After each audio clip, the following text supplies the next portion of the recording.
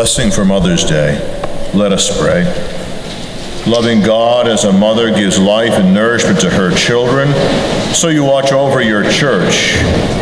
Bless these women that they may be strengthened as Christian mothers. Let the example of their faith and love shine forth.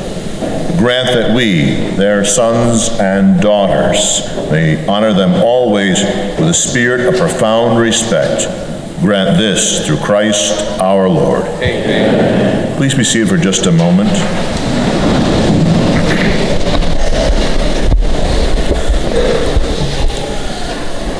You know, you, you leave Father Carlos in charge, and next thing you know, the parish has a Spanish saint's name.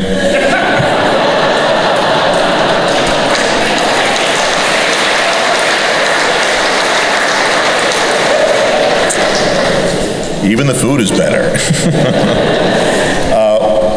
we've been practicing in the office saying Junipero Serra, but just say Juniper Serra, it's easy. There's a parish named for a Colombian saint in West Hartford, Saint Pedro Claver, but they say Peter Claver, so you can say it in English, it's fine.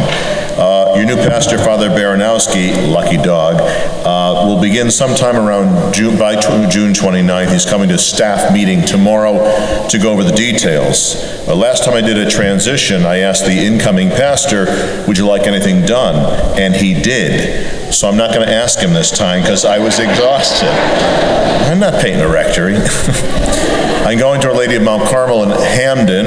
Um, and I found out two days before the trip to Ireland, so on the bus, when the news came out, uh, one of the parishioners saying, Father, this is terrible, you're so far away. I said, oh yeah, sure, you'll go to Dublin, but you won't go to Hamden.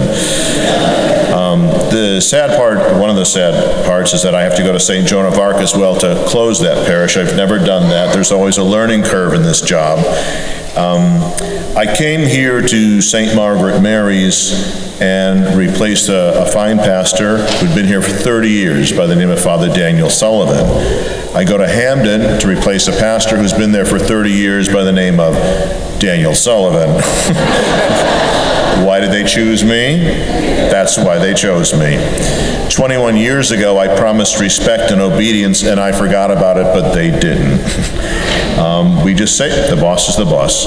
Um, they're also making me a chaplain at Quinnipiac University, which is just like the University of Hartford, only has a lawn. It's very nice. Uh, I continue in interreligious affairs. Uh, I've been given an assistant, uh, Father Matthew Gorick, who's ordained one year. So Father Carlos says he's a kid. He doesn't know what he's doing. Have him call me. It's true. Um, and also there at the uh, university is Father Jordan Lenhart, who I hired as chaplain for Quinnipiac when I was director of campus ministry. And now he's my boss, and I don't like it one bit. In Ireland, we had 11 days of sunshine, and I was awake every night thinking about what the impending move makes.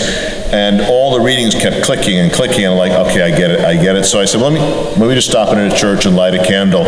So I go into this little Irish church in Dublin's fair city, and I light the candle and look up, and who's there? Our Lady of Mount Carmel. I said, I, I get it, I got it, all right. Uh, it's very difficult to uh, say goodbye, um, but it's part of the job description in that we, we, go, we go where we're needed, even though I want to stay where I like it. uh, I went down undercover yesterday to see Our Lady of Mount Carmel, sunglasses, a leather jacket. I took pictures of everything. Um, so it, will be, it's never dull. Uh, but I will indeed uh, miss you because you've been formative for me. You're my first parish, and, uh, and I've grown very fond of you. Um, in Ireland, uh, I took one of the parishioners uh, for a horse and buggy ride, horse and carriage, and we had stopped at Guinness to get directions.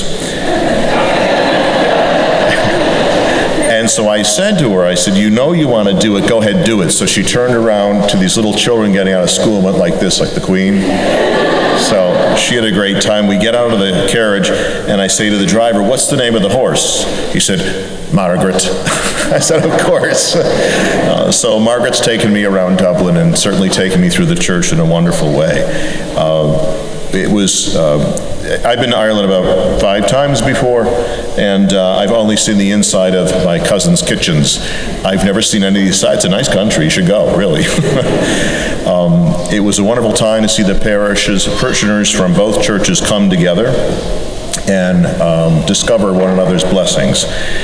It's been uh, an incredible honor to be your pastor, uh, to work with such great deacons and the lay ecclesial staff, and certainly uh, to be with my brother priest, uh, Father Carlos.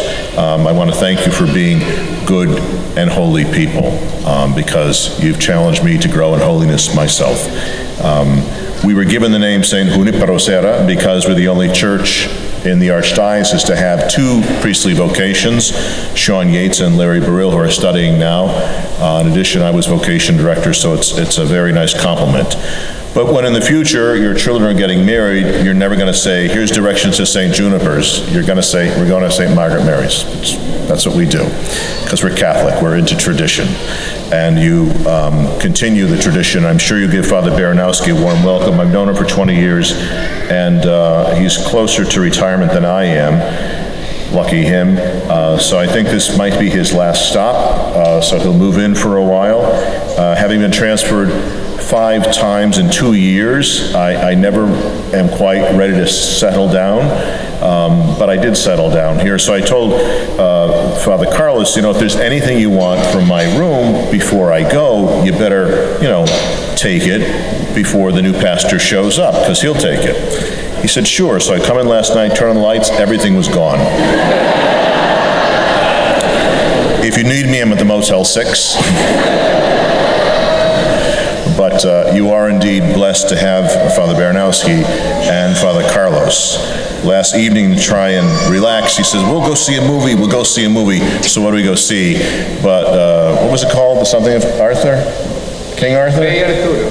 What? El Rey Arturo. Yeah, Arthur the King. His name is Carlos Arturo Castrillon, so it's Charles Arthur. So we come out of the movie and he's walking through the lobby saying, I am Arthur, I am Arthur. I think until you get used to Father Baranowski, he is king.